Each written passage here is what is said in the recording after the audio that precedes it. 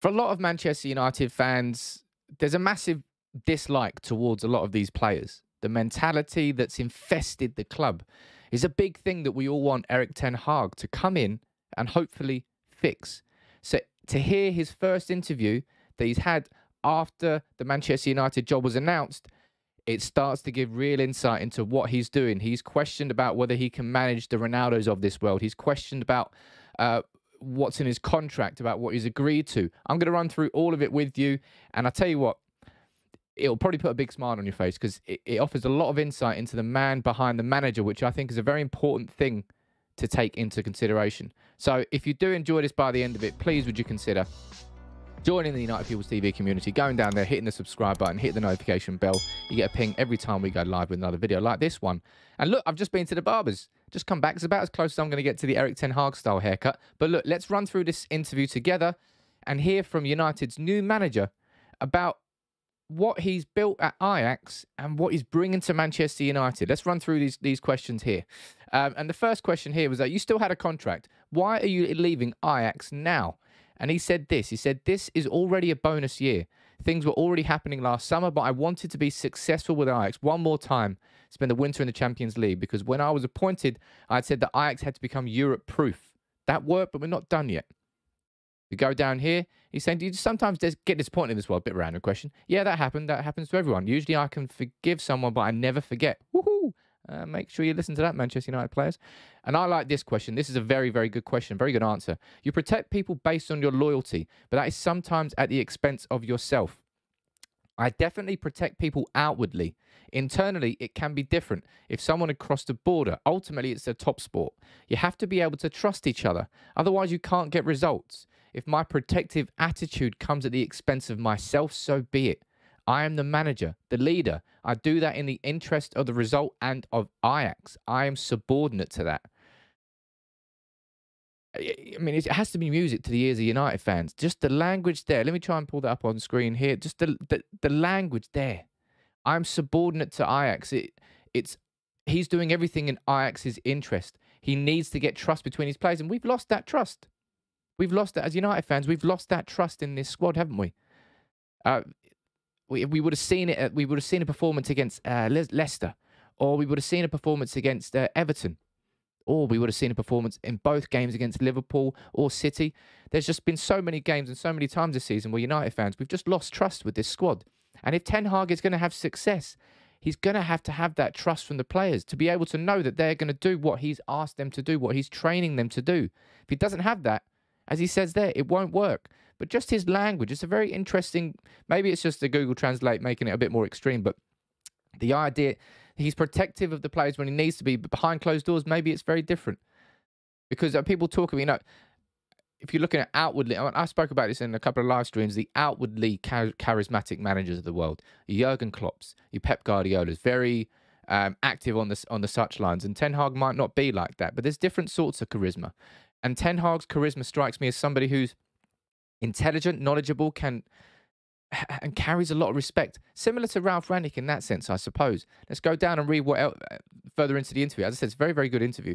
Uh, you also protected Promes, so that was to do with the case that's gone going. We don't need to read about that. And Mark Overmars, uh, he, he spoke about this, but this I thought was quite interesting. He goes, it almost sounds like a social worker. He goes, so are trainers. My profession is training, coaching, making analysis, but above it all, guiding people. The task has become much more intensive in the last 20 years. In the last century, the world was still relatively uncluttered.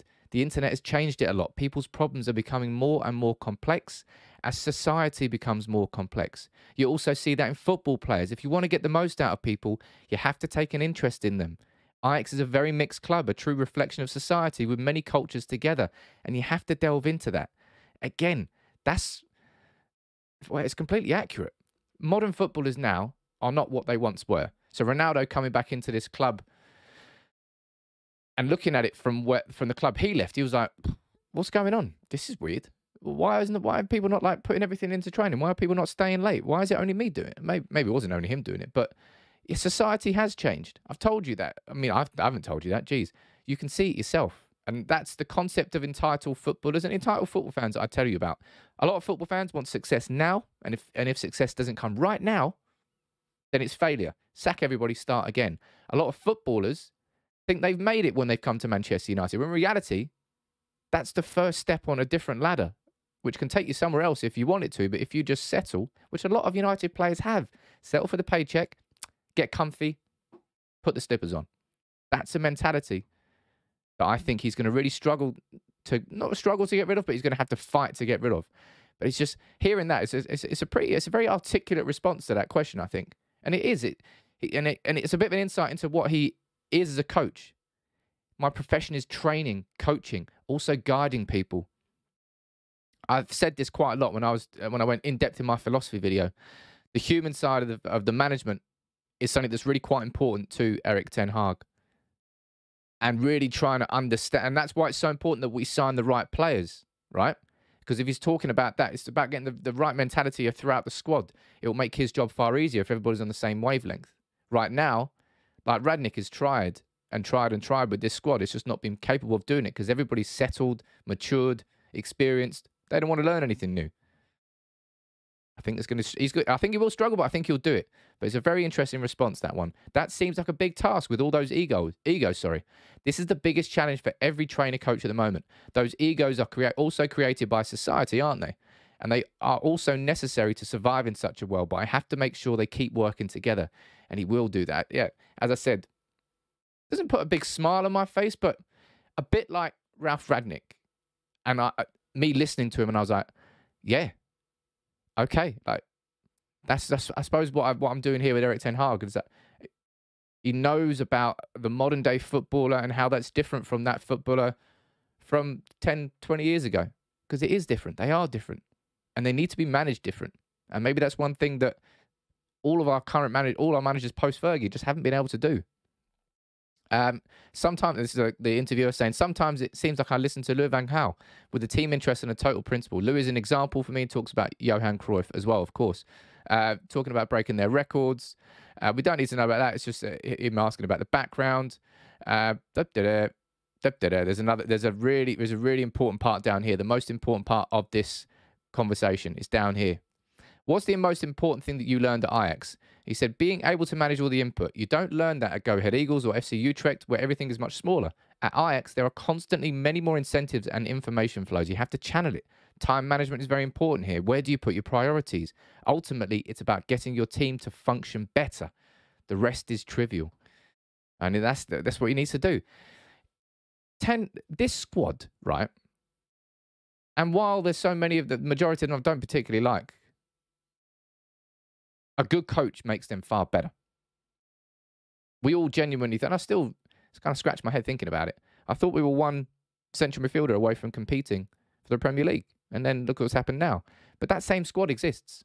That same squad, which largely went an entire season undefeated away from home under Solskjaer.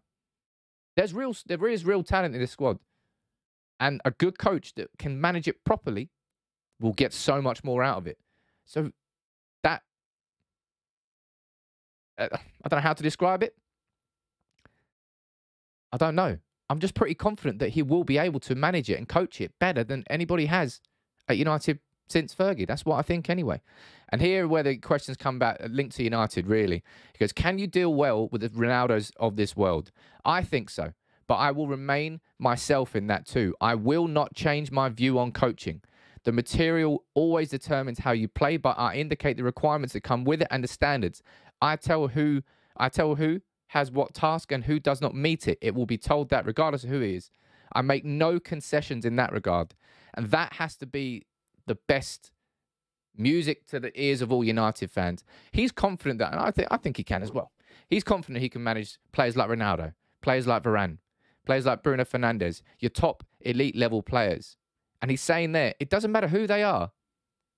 I'm not changing my vision and philosophy anybody who doesn't want to work with Ten Hag, it won't be like Rangnick where the 4 2 2 system didn't work. He goes, okay, I'll see what I can do. Concessions. There won't be concessions from Ten Hag. The only concession will be the player leaving the club. You're either on board with Ten Hag and what he's doing, or you're just kicked out.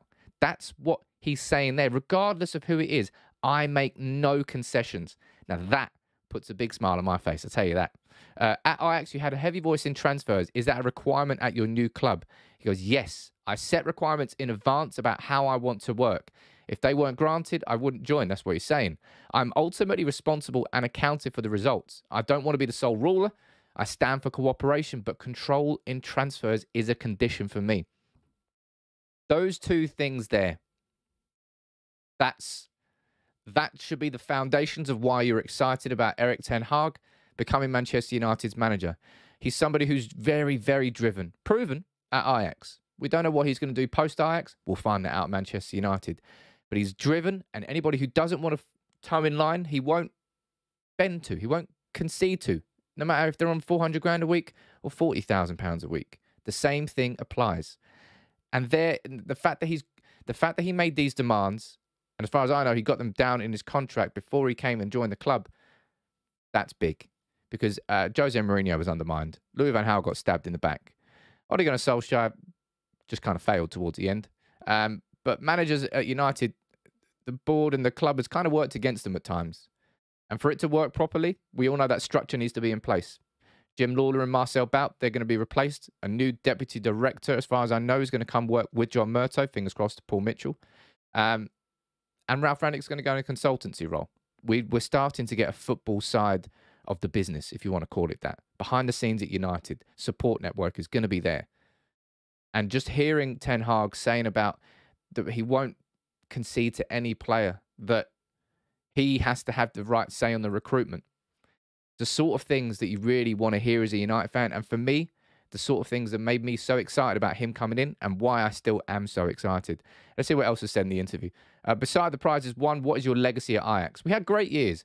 I think that Ajax has played its Ajax under my leadership always with the intention to play good and beautiful football with adventure and beauty. That led to a lot of goals. There's even more of a winning mentality, a winning culture that has come into the club. Perhaps that is where my greatest influence lies. In the Netherlands, there is often little attention for this. It's always about the tactics with trainers, but mentality is just as important a factor.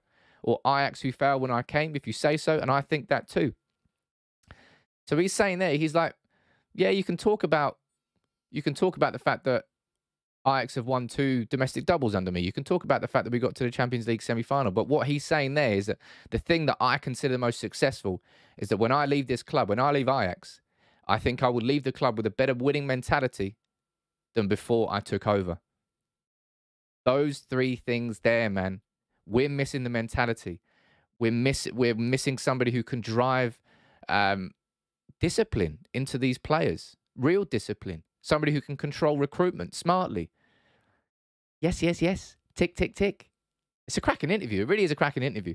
Um, go down here and read that. Now there is a lot of pressure to get a title, I'm aware of that. You just have to win.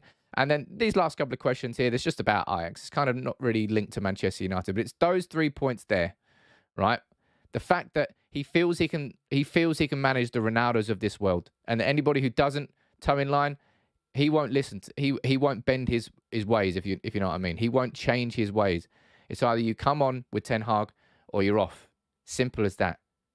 He's had a heavy voice in transfers. He's controlling that, and the fact that he there, he he he feels that his biggest success at Ajax is that winning mentality that he's leaving behind.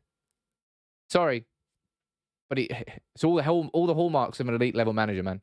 The way he speaks, that bit there, the, the winning mentality, that's the bit that got me there towards the end. But that's his first interview since the announcement's been made of him becoming Manchester United's new manager. What's your take away from that? If you look, if you want to, if you if uh, we got any Dutch uh, followers or anybody, I'll leave the link to this interview in the description. But I found that to be quite a fascinating interview, which is exactly why I did a video on it. Obviously, I've done a video like earlier today on transfers, and I, I typically wouldn't do two videos like this in one day, but given that it's Ten Hag's first interview and the first comments that he's made, I thought it was very important. I brought that to you straight away. So please drop a like on the video. Let me know what you think about them. Man, I'm excited. I'm really, really excited about what comes next. Who knows? We might win it all. We might not. But I think we will.